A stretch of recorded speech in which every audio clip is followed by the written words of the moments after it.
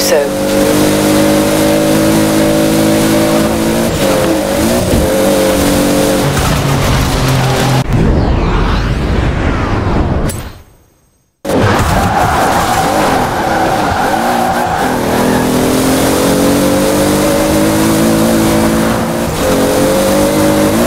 turn around when it is safe to do so.